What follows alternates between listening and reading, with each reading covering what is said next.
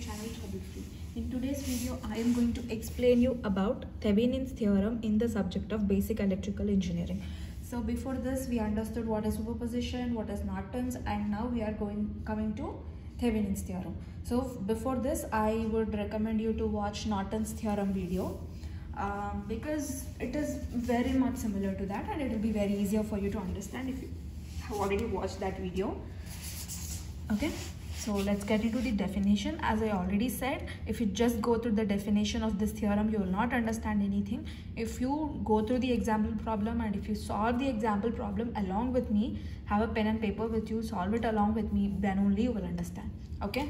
First a linear bidirectional two-terminal network can be replaced with an equivalent network consisting of voltage VTH connected in series with resistor RTH same in norton's also we saw something similar like this something similar to this right? But in norton's what we are doing is we are taking in that is we are taking a current source and we are connecting that current source in parallel with the resistance. But in case of Thevenin we are taking voltage source and we are connecting that voltage source in series connection with RTH okay? That is the only difference so what is VTH then? It is Thevenin's voltage and RTH is Thevenin's resistance. So VTH is when you open circuit the voltage at the terminals and you will be getting RTH as an input resistance at terminals when the independent sources are turned off. Same, same thing. So in um, Norton's theorem we had Rn but here we are having RTH that is the only difference. Okay. So in Norton's theorem, you are connecting current in parallel with the resistance. In Thevenin's theorem, you are connecting voltage in series with the resistance. Okay. So without any further delay, let's quickly go into the example problem so that you will understand it in more a better way. Guys, this is our example problem and your question is to find out the current. You have to find out the current through the load resistance. Here is the load resistance RL when it is equal to 6 ohms and it is equal to 16 ohms that is 16 ohms. You have two cases over here. In case 1 RL is equal to 6 ohms. In case 2 RL is equal to how much? 16 ohms. Okay? So first what you have to do you have to find out VTH you have to find out RTH and replace this big circuit diagram with the circuit diagram which is having only VTH RTH and then you can find out the currents. First, let us do for VTH. For VTH, what you have to do, you have to remove the load. Okay. First, you remove the load and do the open circuit okay then how our new diagram will be your new circuit diagram right from the circuit diagram from this circuit diagram we removed this RL and we did open circuit. Okay? So now using this you have to find out VTH let's see how to find out VTH so basically where is VTH here. But this one it is the open circuit right it will be open circuit so here the potential will be VTH here also at this point also the potential will be VTH only because we don't have any resistors over here. So anyways it is not going to change. Okay? So for, for this branch also it will be VTH only. So we have to find out the voltage over here which is nothing but VTH why? See don't get confused because this is an open circuit here current is equal to 0 so there will be no potential i mean there will be no voltage drop or voltage rise.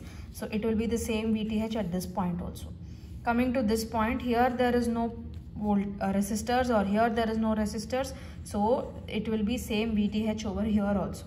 Here it might change because we have 4 ohms and 12 ohms resistors acting over here right?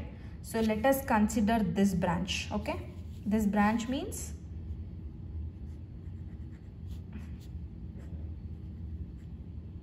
so this is 4 ohms. This is 12 ohms. And we have to find out the potential over here. So on doing this on looking at this what do you remember? You can do nodal analysis okay?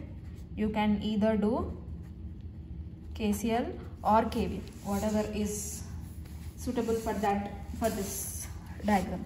So assume all the currents directions now. So assume all the currents as outgoing currents as i already told you if you if the direction of current is not given you have to assume it. Okay? So we are assuming that all the currents are going outwards. Now let us also uh, what will be our kcl equation? I1 plus i2 sorry plus i3 is equal to 0 this is this will be our kcl equation right? So from this small diagram i1 plus i2 plus i3 is equal to 0 we got. Okay? That means i1 is here i2 is here i3 is here.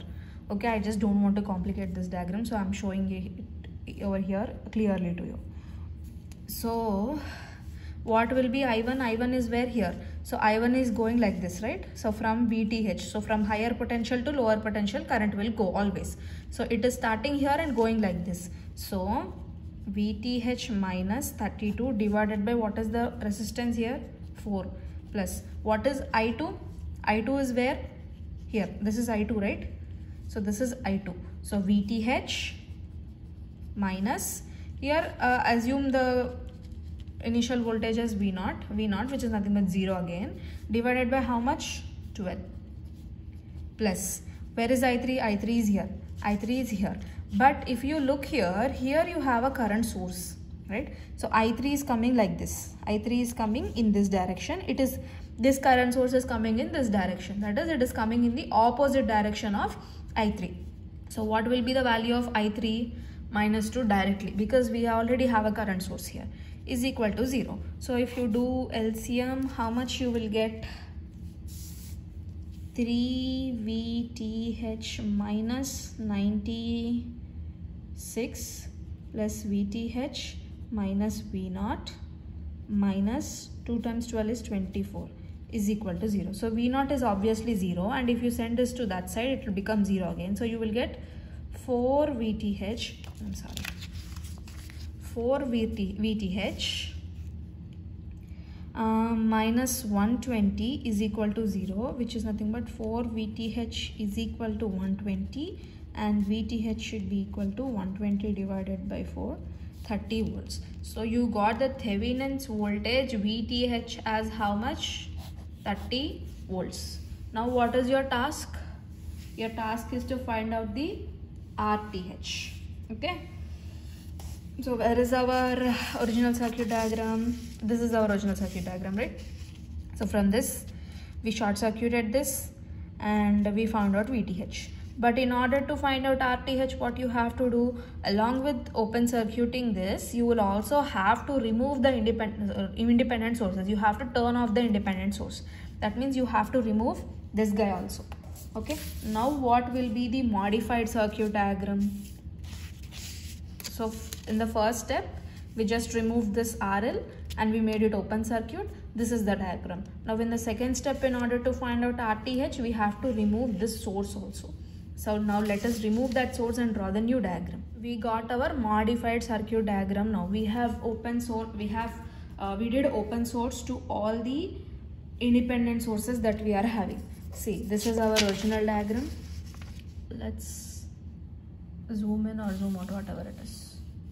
Okay, so this is our original circuit diagram and this is our new modified diagram because in the previous step we already remove this to find out VTH, right? Along with that, now what you did, you removed the independent sources also. Here 32 volts voltage is independent source and this 2 amperes current is also independent source, right?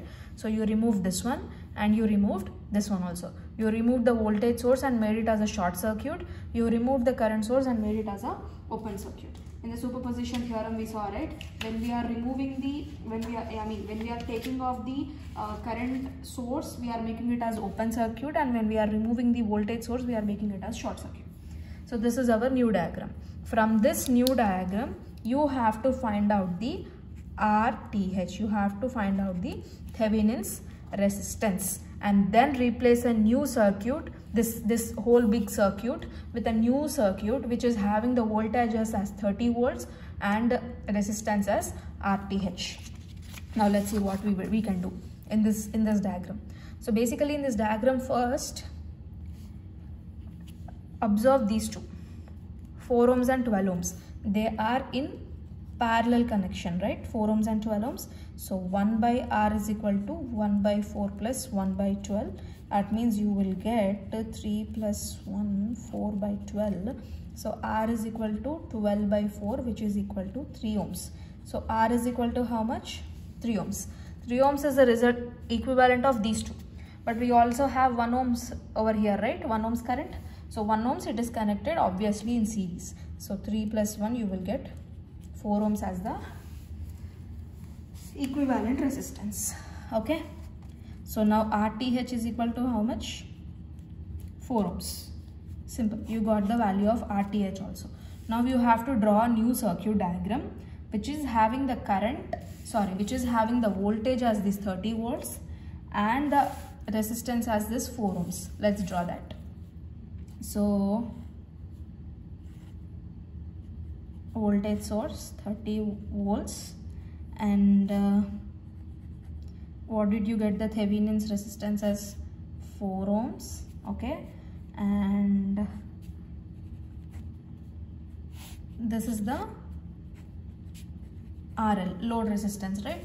Now you have to find out the current passing through this load resistance which is equal to IL and the value of load, load resistance is changing okay? So before that try to observe this. This is our original circuit and this original circuit is replaced with this. In the original circuit the voltage is 32 volts but that is replaced with the Thevenin's voltage and all the other resistance sources are replaced with the Thevenin's resistance. Okay? And the load resistance is as it is. Now let us find out the current in that load resistance. Okay? This is our new diagram right so what in the question what does it say? Find out the current when load resistance R is RL is equal to 6 amp 6 ohms and 16 ohms. Okay? Now how do you find out I V is equal to IR that means I is equal to V by R. So what is V here? 30 30 divided by when R is equal to 6 ohms. 30 divided by 6 how much you will get? You will get the answer as is it 30 divided by 6 no 30 divided by 6 directly you can't take because you also have here 4 ohms right? So 6 plus 4 so which is equal to 30 divided by 10 which is equal to 3 amperes. So current due to 6 ohms load resistor is equal to 3 amperes. Now the same way you have to find out when r is equal to 16 ohms so same i is equal to v divided by v is 30 and the Thevenin's resistance is 4. Of course, these both are connected in series, right? So that's why we are directly adding it. So in this case, it is 16 load resistance. So 30 divided by 20 which is equal to 3 by 2 which is equal to 1.5 amps. Okay. So this is all about this video guys. I hope it is clear for you. So we arrived at this thing from, let me show you the original diagram. Where did the original diagram go? It went somewhere guys. Yeah, this is the original diagram. So from the original diagram, we came here. How? By replacing the voltage source, we are calculating the VTH and RTH. Here we are connecting VTH and RTH in series with each other. In case of Norton's theorem, what we did, we connected both of them. The current source and the resistance source were connected in parallel. Just go back to the previous video and observe. But here we are connecting both of them in series connection. So this from this we got a new diagram and from that we are calculating the asked questions. Okay. So that's all for this video guys. Thanks for watching the video till the end. If you still have any doubts, let me know in the comment section. Let's meet up soon in the next coming video with another topic. Thank you so much for watching the video till the end.